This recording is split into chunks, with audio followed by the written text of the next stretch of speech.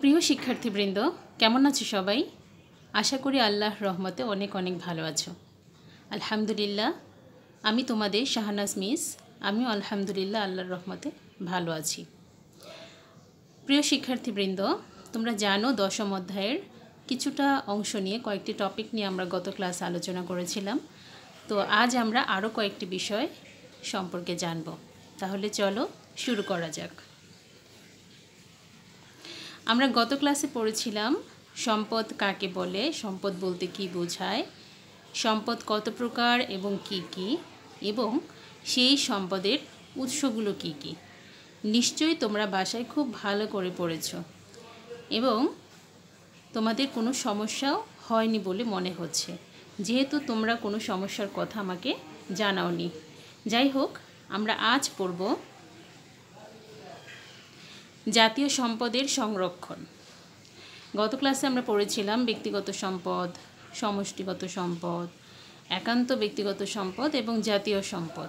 তো যাই হোক, জাতীয় সম্পদের সংরক্ষণ কীভাবে করতে হয় সেটা সম্পর্কে আজ আমরা বিস্তারিতভাবে জানব। বিভিন্ন ধরনের অর্থনৈতিক কার্যাবলী, তার পর্যায়গুলো সম্পর্কে জানব। আর উৎপাদনের উপাদান কীভাবে উৎপাদন করতে হয় বা কীভাবে এর পর্যায়গুলো কি কি, উৎপাদনের উপাদানগুলো কি কি, এসব বিষয় নিয়েও আজ আমরা বিস্তারিতভাবে জানব। ঠিক আছে? আচ্ছা। জাতীয় সম্পদের সংরক্ষণ। আচ্ছা টপিকটি দেখলেই তোমরা বুঝতে পারছ, এখানে দুটো বিষয় আছে। এক হচ্ছে জাতীয় সম্পদ এবং দুই হচ্ছে সংরক্ষণ। জাতীয় সম্পদ সম্পর্কে আমরা গত ক্লাসে বিস্তারিতভাবে পড়েছিলাম। জাতীয় সম্পদ হচ্ছে ব্যক্তিগত সম্পদ এবং সমষ্টিগত সম্পদের সমন্বয়ে গঠিত জাতীয় সম্পদ। অর্থাৎ ব্যক্তিগত সম্পদ এবং সমষ্টিগত সম্পদ দুটো মিলেই হচ্ছে জাতীয় সম্পদ। একটি দেশ বা রাষ্ট্রের সকল জনগণ জাতীয় সম্পদ ভোগ করে। সুতরাং রক্ষণাবেক্ষণের দায়িত্ব আসলে তাদের, তাই না? তো জাতীয় সম্পদ বলতে মূলত দুটো সম্পদকে বোঝানো হচ্ছে, ব্যক্তিগত সম্পদ এবং সমষ্টিগত সম্পদ, ঠিক আছে? আচ্ছা এবং দ্বিতীয় যে বিষয়টি পরিলক্ষিত হচ্ছে সেটা হচ্ছে সংরক্ষণ। সংরক্ষণ হচ্ছে যে কোনো বস্তু, যে কোনো দ্রব্য বা সম্পত্তি সেটা যত্ন সহকারে সংরক্ষণ করা, যত্ন সহকারে সেটা রক্ষণাবেক্ষণ করা এবং সেটা তত্ত্বাবধান করা, দেখাশোনা করা, এই যে বিষয়টা একে বলা হয় সংরক্ষণ, ঠিক আছে? তাহলে জাতীয় সম্পদের সংরক্ষণ বলতে ব্যক্তিগত সম্পদ এবং সমষ্টিগত সম্পদের যত্ন সহকারে তত্ত্বাবধান এবং রক্ষণাবেক্ষণকে বোঝানো হয়। বুঝতে পেরেছি? আচ্ছা।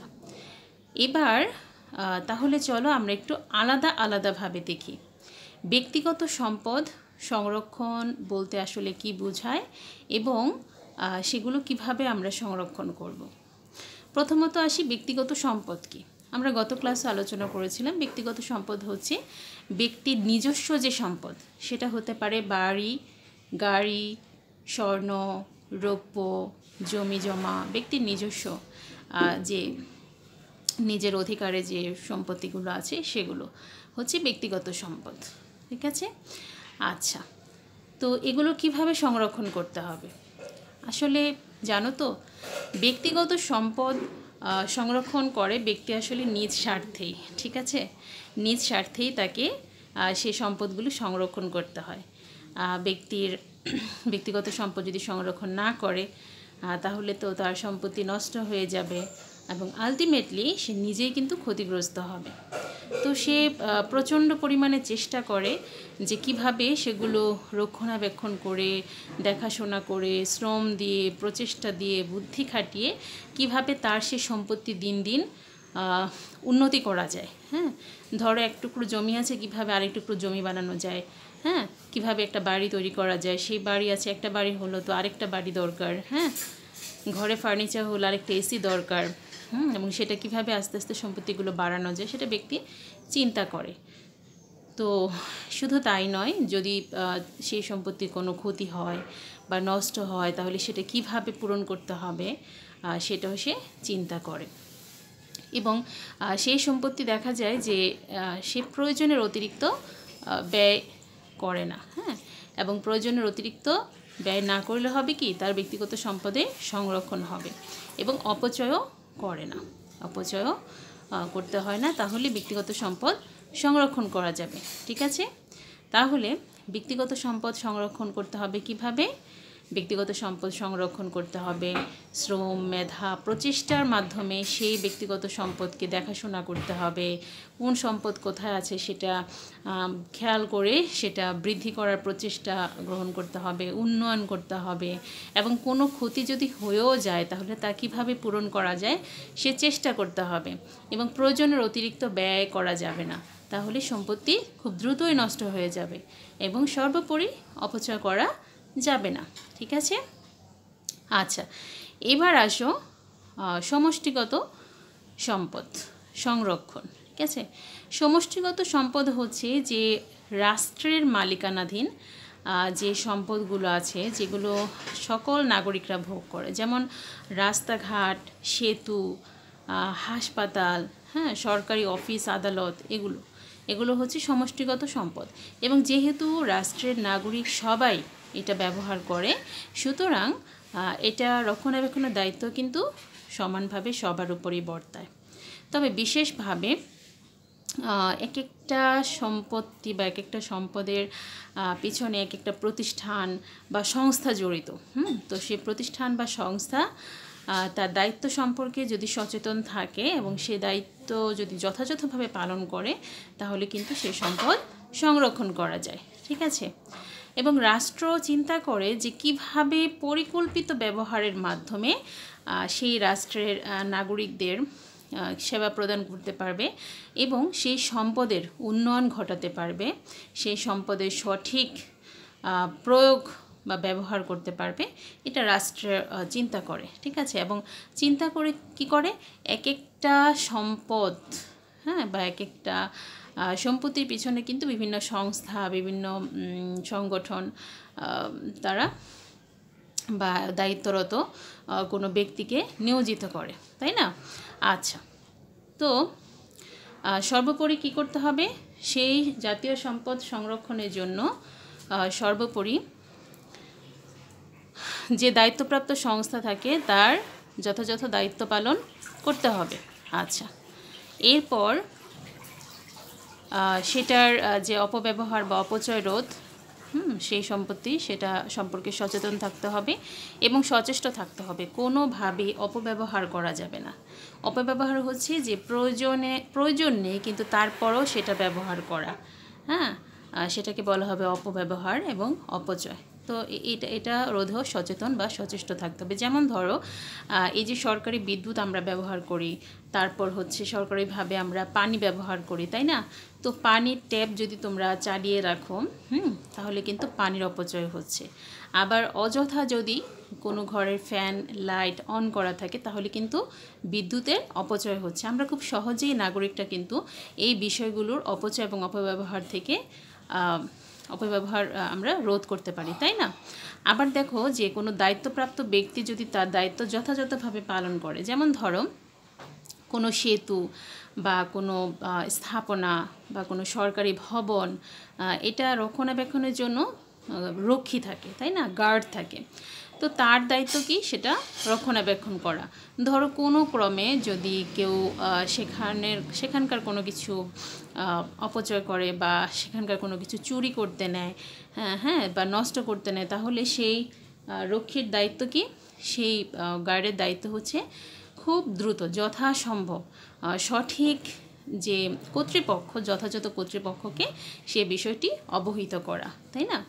তাহলে পরে কি হবে? সেই রাস্তাঘাট বলো, সেতু বলো যা, বা স্থাপনা বলো, সেটা কিন্তু রক্ষণাবেক্ষণ করা যাবে। বুঝতে পেরেছ? তো আরেকটা বিষয় লক্ষ্য রাখতে হবে যে সচেতনতা বোধ জাগ্রত করতে হবে। যেহেতু বিষয়টি সকল নাগরিকেরই, তাই নাগরিকদের সচেতন করার জন্য, তাদেরকে সচেতন করার জন্য বিভিন্ন ধরনের পদক্ষেপ নেওয়া যেতে পারে। এক্ষেত্রে মিডিয়ার সাহায্য নেওয়া যেতে পারে। হুম? প্রচার মাধ্যমে সাহায্য নেওয়া যেতে পারে বিভিন্নভাবে তাদেরকে সচেতন করার জন্য। আরেকটা বিষয় করা যেতে পারে সেটা হচ্ছে যে তাদের প্রশিক্ষণ দেওয়া যেতে পারে। প্রশিক্ষণ দেওয়া যেতে পারে যে তারা কোন ধরনের সম্পদ কীভাবে তারা রক্ষা করবে, তাই না? আচ্ছা তো যাই হোক, এভাবে সম্পদে সংরক্ষণ করা যায়। এবার আসো অর্থনৈতিক কিছু কর্মকাণ্ড আছে, হুম? অর্থনৈতিক কিছু কর্মকাণ্ড আছে। এখানে আমরা দেখছি যে অনেকগুলো অর্থনৈতিক কর্মকাণ্ড, কৃষিকাজ, পশু শিকার, পশুপালন, খনিজ সম্পদ উত্তোলন, মাছ শিকার, মধু সংগ্রহ তারপর কাঠ চড়াই তো যাই হোক, এগুলো সবই হচ্ছে অর্থনৈতিক কর্মকাণ্ড এবং প্রত্যেকটা অর্থনৈতিক কর্মকাণ্ড বা অর্থনৈতিক কার্যাবলীর পিছনে আসলে অনেকগুলো স্টেপ জড়িত, অনেকগুলো স্টেপ জড়িত, অনেকগুলো পর্যায় জড়িত।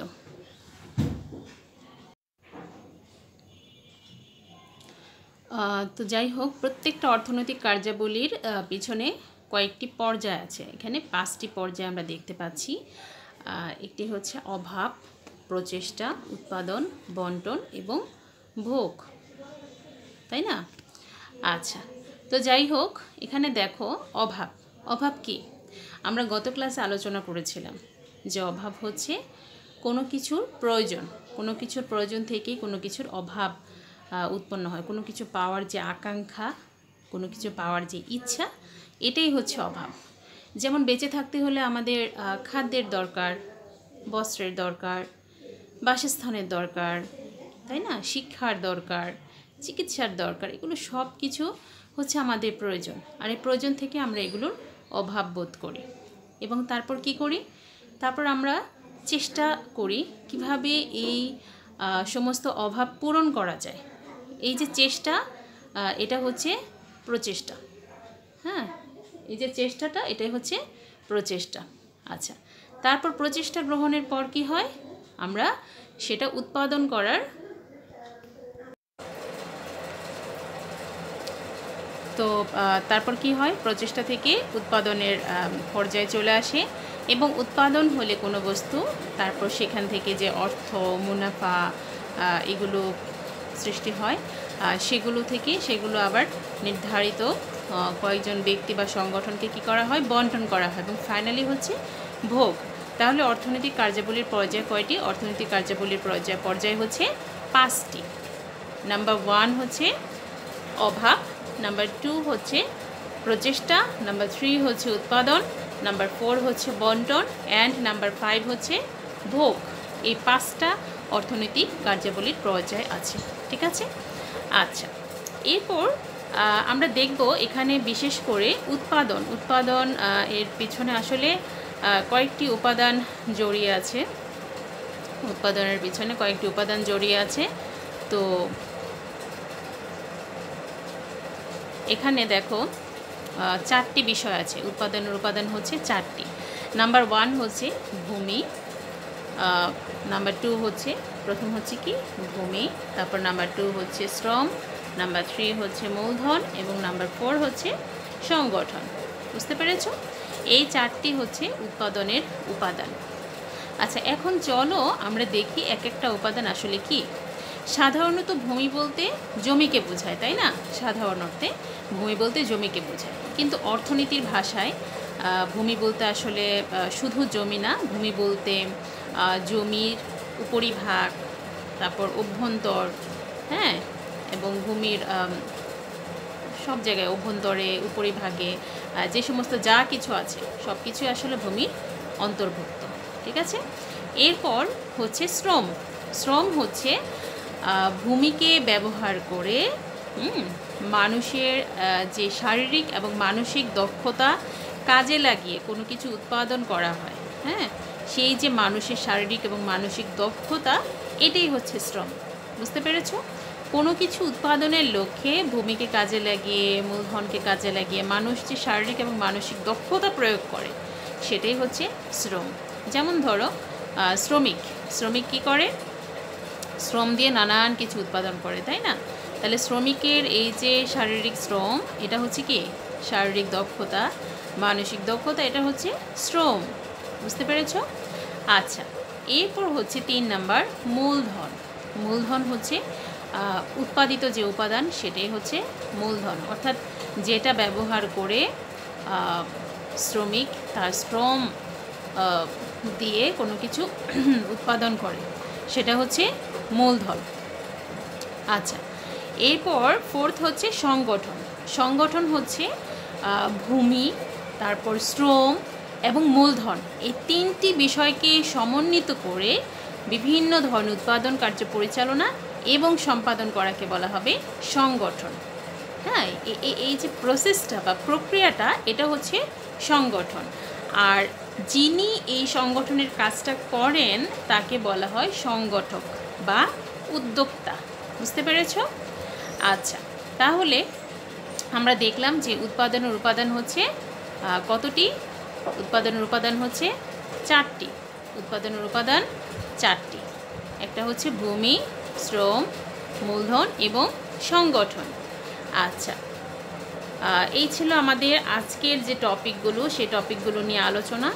তোমাদের সর্বোপরি যেটা করতে হবে, এই ক্লাসটি শেষ করার পর তোমরা দশম অধ্যায়ে চলে যাবে মেন বই থেকে এবং দশম অধ্যায়ে গিয়ে যে টপিকগুলো নিয়ে আমি আলোচনা করলাম অথবা লাস্ট ক্লাসে যতটুকু আলোচনা করেছি, তারপর থেকে আজকে যে আলোচনাটা হলো, এই এইগুলোর টপিকের উপর যেই যেই বিষয়গুলো আছে, এগুলো সুন্দর করে ধরে ধরে লাইন বাই লাইন তোমাদের বুঝে বুঝে পড়তে হবে। এটা অবশ্যই করতে হবে, ঠিক আছে? আচ্ছা আর আরেকটা বিষয় সেটা হচ্ছে যে শুধু পড়া মানে শুধু রিডিং পড়া না, পড়া মানে সেটা উপলব্ধি করে করে পড়া, বুঝে বুঝে পড়া। তো এই বিষয়টি তোমরা খেয়াল করে পড়বে। এবং তারপর তোমাদের আজকের ক্লাসের উপর কিছু কোশ্চেন আছে। সংরক্ষণ কি? জাতীয় সম্পদ সংরক্ষণ করার জন্য তুমি কি কি পদক্ষেপ নেবে? সংগঠন কি? অর্থনৈতিক কার্যাবলীর পর্যায়গুলো উল্লেখ করো। উৎপাদন উপাদান কতটি ও কী কী উল্লেখ করো? এই কোশ্চেনগুলোর অ্যান্সার তোমরা খুঁজে বের করবে এবং এগুলো করে ফেলবে, ঠিক আছে? সবচেয়ে ভালো হবে এগুলো খাতায় লিখেও ফেলবে, ওকে? তো সবাইকে আজ এ পর্যন্তই। সবাইকে ধন্যবাদ। তো সবাই আশা করি সবাই মনোযোগ দিয়ে পড়াশোনা করবে। এবং আল্লাহর রহমতে সবাই সুস্থ থাকবে। সাবধানে থাকবে সবাই। হ্যাঁ এখন শাটডাউন চলছে, সুতরাং অপ্রয়োজনে তোমরা কেউ বাহিরে বের হবা না কারণ এতে বিপদ ঘটতে পারে। ঠিক আছে? তো এ পর্যন্তই। ইনশাল্লাহ পরবর্তী ক্লাস নিয়ে খুব শীঘ্রই হাজির হব। আল্লাহ হাফেজ।